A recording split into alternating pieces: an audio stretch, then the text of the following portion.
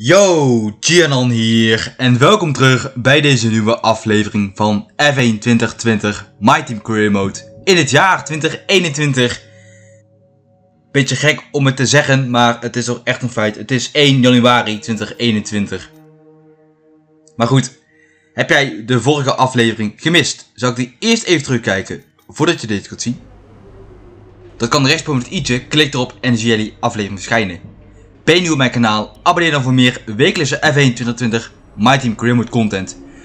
Like de video alvast. Volg me even op de sociale media. Mijn gebruiksnaam staan in de beschrijving. En dan gaan we nu gewoon lekker door met de kwalificatie voor de grootprijs van België.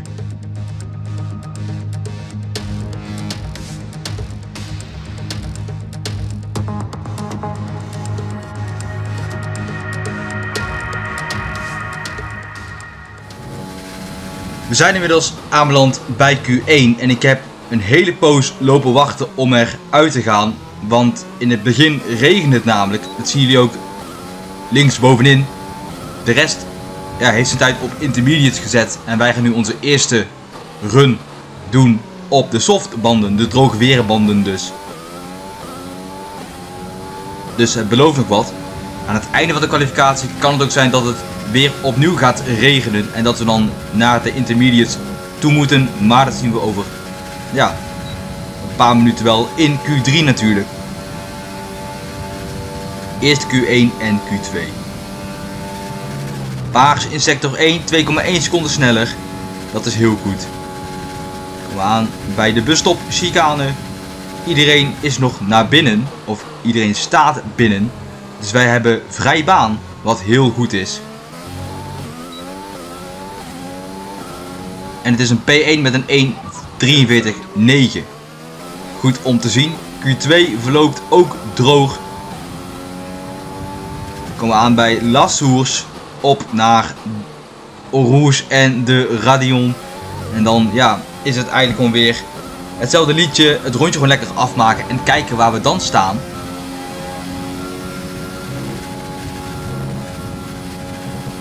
Rouge nemen we heel goed. Camel Straight volgt dan nu. En deze nemen we ook heel goed. Geen paars in sector 1. Ik heb voor een wat meer downforce setup gekozen om snel te zijn in sector 2 en 3. Want de Mercedes motor is toch heel sterk genoeg. We zetten een P2 neer. Achter Valtteri Bottas op 15e met een 1.42.8. Q3 is weer ja, in de regen. En ik denk dat het gewoon nog een ja, kan om op die tijd op de softbanden neer te zetten. Maar ik heb gewoon heel veel moeite met onderstuur. De tractie die er gewoon niet is. Ja, en dat de baan gewoon spekglad is. Dus ik denk dat dit rondje hem niet wordt. En dat we eigenlijk naar binnen moeten. En kijken waar we dan staan op de intermediate. Rouge nemen we heel voorzichtig. Bottas zet een 1.52.7 neer. Op de intermediate volgens mij weet ik niet zeker. Maar we hebben heel veel moeite. Het wegdek is ook gewoon helemaal nat. Het glinstert ook gewoon. En we zetten een 2 minuut 7 neer. De rest heeft zijn tijd allemaal op de intermediates. En wij laten Charles Leclerc even voorbij. En dan gaan we nu beginnen met onze tweede en laatste run in de kwalificatie. We hebben Max Verstappen achter ons. Maar ja, die moet even gewoon achter ons blijven. Want uh, ja, ik wil hem niet zomaar voorbij laten. Dan is onze tweede run verpest. En misschien kunnen we kijken of deze run sneller is dan een P10. Charles Leclerc naar een P8, dat is wel heel teleurstellend. En Russell doet het uitstekend. P9. Dat betekent dat het nu volgens mij uh, 16-1 voor mij staat in kwalificatieduel als Russell sneller is. Ik hoop van niet, maar je weet het maar nooit. Ik weet niet of Louis de Letras ooit een keer sneller is geweest dan onszelf. Q3 zit erop. De vlag hangt uit. 4,3 seconden verbeteren wij ons. Maar is dat genoeg? Nee, want we schieten een beetje door. We hebben een klein moment overstuur. En we staan gewoon op een P10. Russell pakt ons in de kwalificatie. Voor het eerst in de career mode zijn wij verslagen door een teamgenoot. Dat geeft helemaal niks. Want hij moet het nog volhouden in de wedstrijd. En gewoon onszelf op bijna 3 seconden van Bottas. Oei, oei, oei, oei. En Russell op 1,8. Dus uh, dat belooft ook wat voor de wedstrijd. Ja, iedereen is al gelijk naar intermediates gegaan, maar ik denk, uh, waarom niet op soft proberen? Maar het is dus niet gelukt. We starten dus vanaf P10 voor ons George Russell. En dan gaan we gewoon kijken wat het gaat worden voor carrière aflevering 17 hier in België. We're in Belgium once again for today's round of the Formula One World Championship. It's a race the great Ayrton Senna won six times, and in 2019, Charles Leclerc became the first driver to take their maiden win here since Michael Schumacher in 1992. Spa-Francorchamps today, a circuit that spans 4.35 miles. There are tons of elevation changes along the way too. 19 corners making up this circuit, with 9 of those to the right and the remaining 10 to the left. This track is a great one for fans of pure speed. The average lap speed comes close to a whopping 145 miles an hour.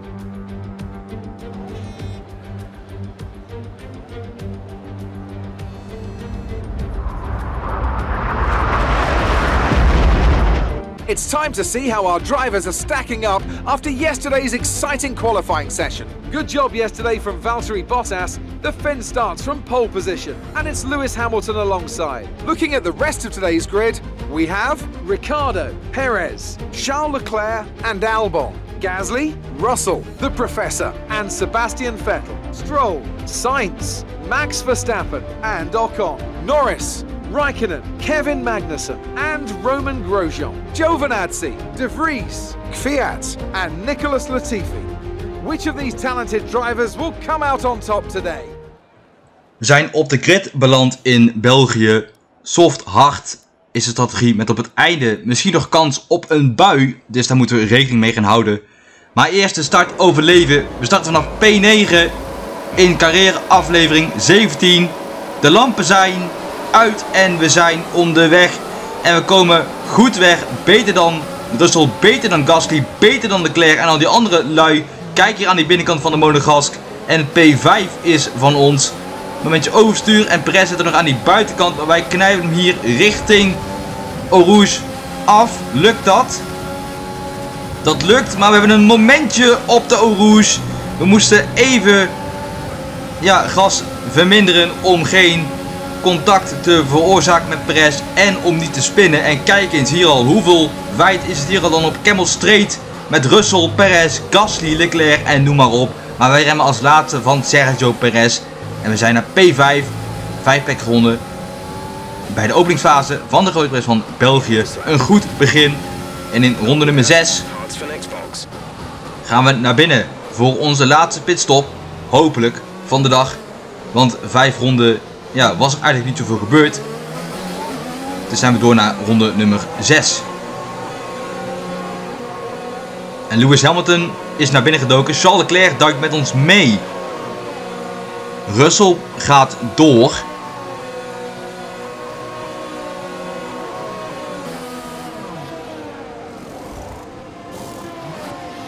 Goeie pitstop, 2,3 seconden.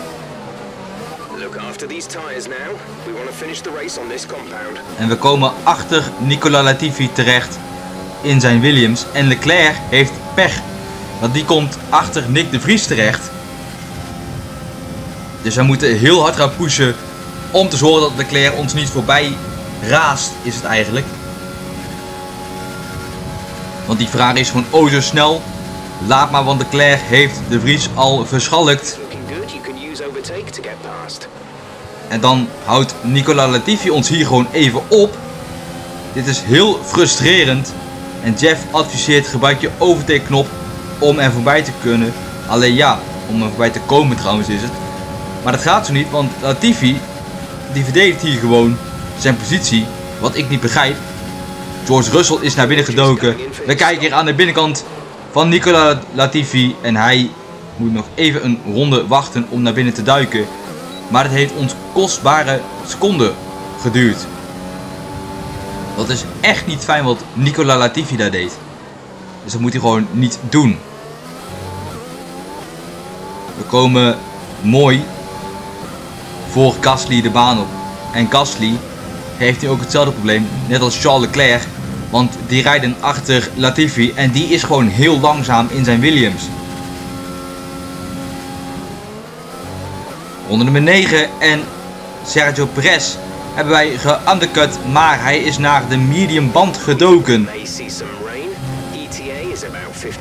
We zien wat regen, zegt Jeff.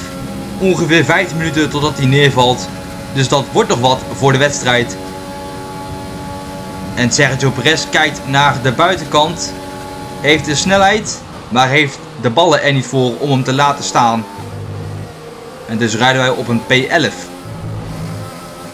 Voor ons Kimi Raikkonen en Antonio Giovinazzi. Achter ons dus Perez en Charles Leclerc.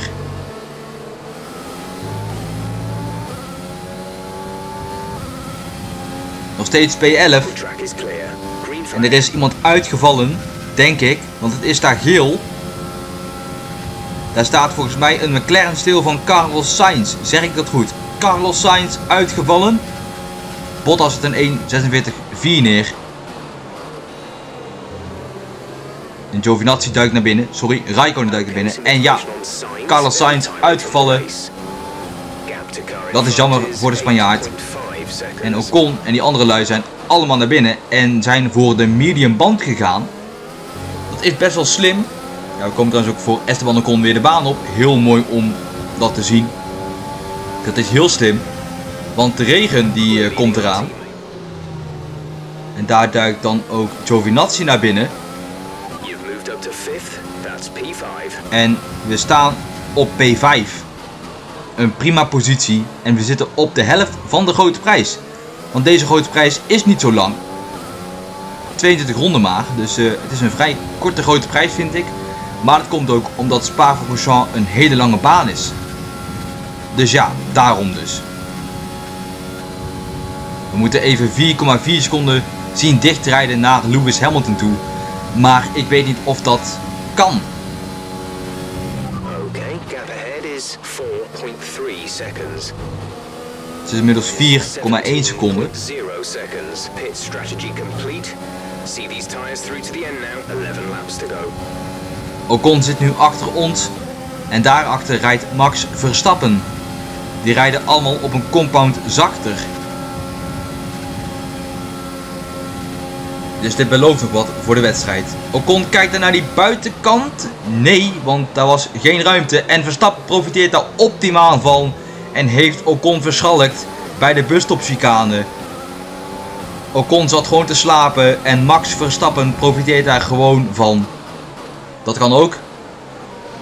Profiteren van andermans fouten.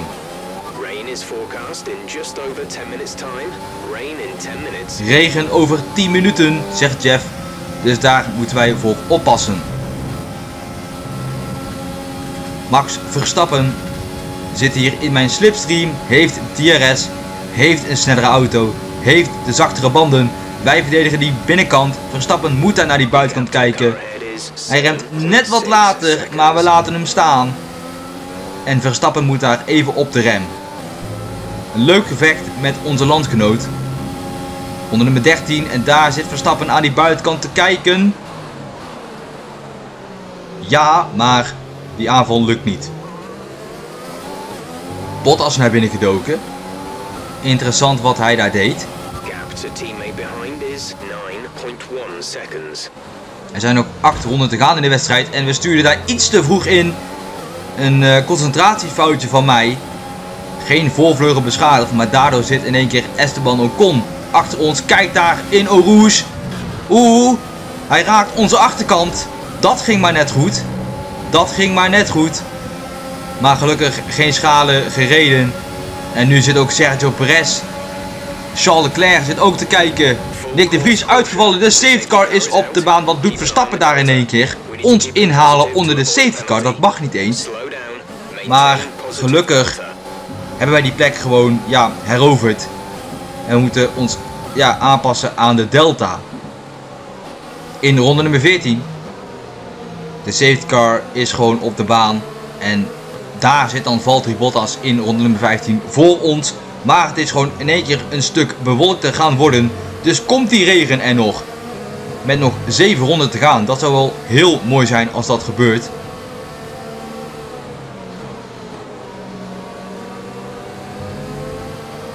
Moeten kijken wanneer die safety car naar binnen duikt. En we moeten ook onze banden opwarmen. Bottas rijdt trouwens op die medium band. Interessant.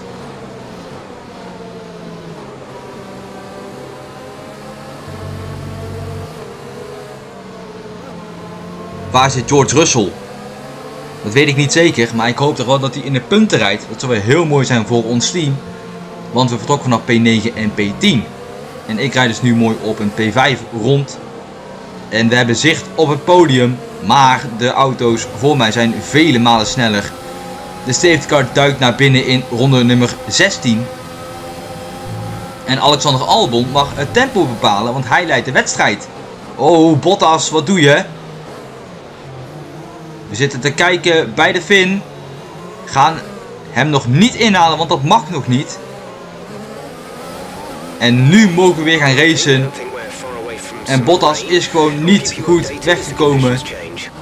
We kijken aan de binnenkant bij de Fin, blokkeren wat. Maar die plek is veroverd. En Verstappen heeft gelijk meegeprofiteerd. En Jeff houdt ons op de hoogte wanneer de regen eraan komt. Maar eerst moeten wij Max Verstappen zien af te verdedigen voor een P4. Want een podium gaat er niet in zitten. Jammer, maar helaas. Wij blokkeren die binnenkant. Dus Verstappen niet naar P4. Mooi om te zien. Voor ons dan. Ronde nummer 18. 15e sneller dan onze vorige lap. Hamilton pakt de snelste raceronde op dit moment. En als hij ook zo finisht, ook een snelste raceronde.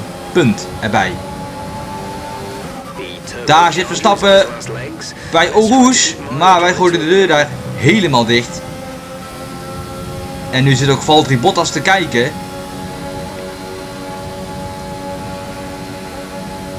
Verstappen kijkt naar de buitenkant. Hij raakt ons gewoon via de zijkant. Maar er is niks beschadigd. Goed om te zien.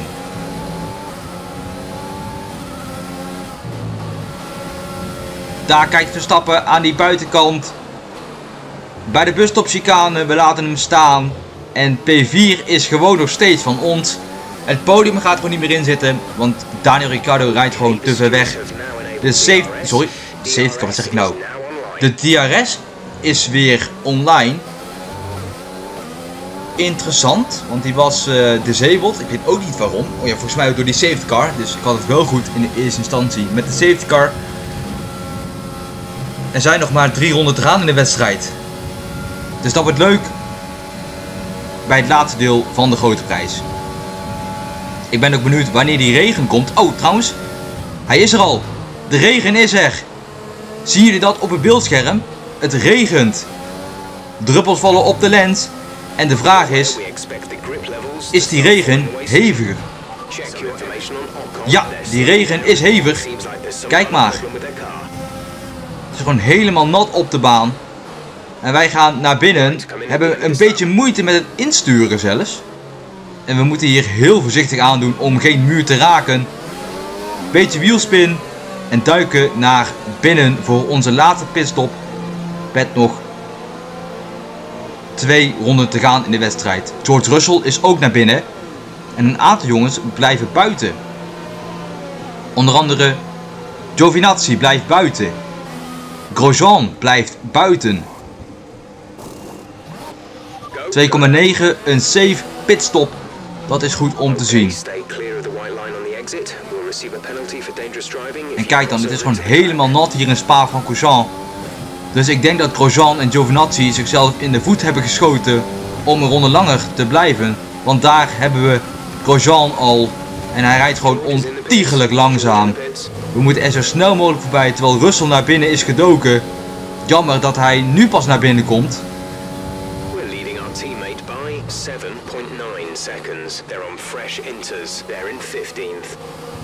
Oké, okay. Russell maar 7,7 seconden achter ons. Interessant. En daar hebben we dan ook Antonio Giovinazzi. Die moet ook gewoon naar binnen. Kijk dan, we rijden er gewoon voorbij. Alsof het niets is. En Danny Fiat en Lance Stroll moeten ook gewoon allemaal naar binnen. En die hebben het heel zwaar op de baan. Want die is gewoon spekglad. En dus hebben we een uitstekende keuze gemaakt met de strategie om gelijk naar binnen te komen wanneer ja, de druppels er eigenlijk waren.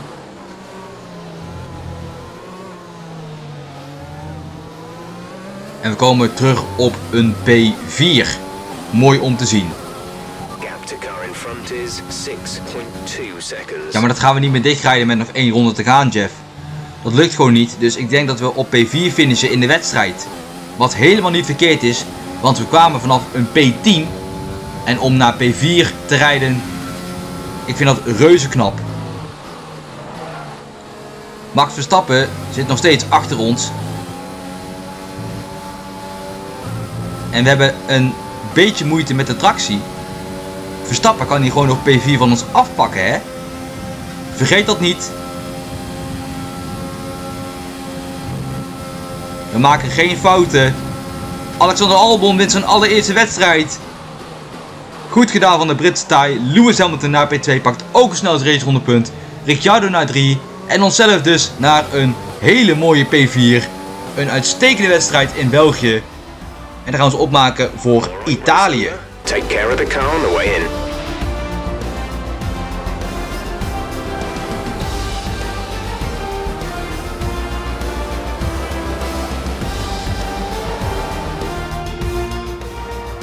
A difficult race then on one of the all-time classic circuits, but they persevered to take the win here today.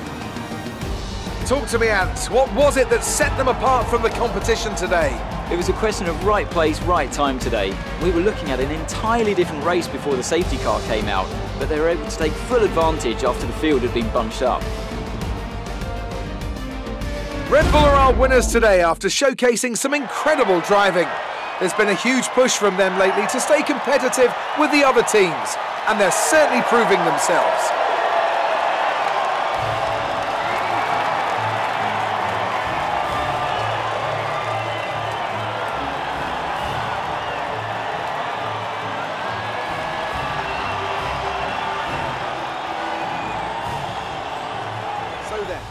De uitslag van de wedstrijd. Alexander Albon wint de wedstrijd natuurlijk. Lewis Hamilton naar P2. Ricciardo naar 3. Onszelf dus naar P4. Verstappen naar 5. En Russell pakt geen punt. Heel jammer.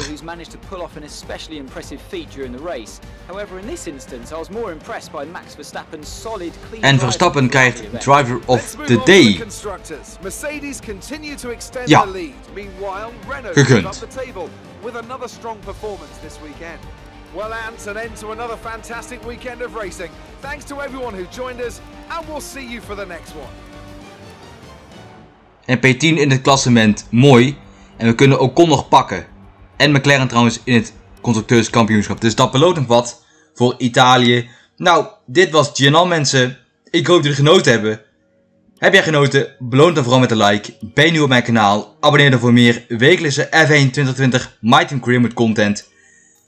Schakel ook een belletje op aan, zodat jij geen enkele video meer van mij mist. Reageer wat er verbeterd kan of moet worden. Volg mij even op de sociale media. Mijn gebruiksnaam staan in de beschrijving. Tot de volgende keer bij F1 2020 My Team Career Mode. Ga verder in Italië.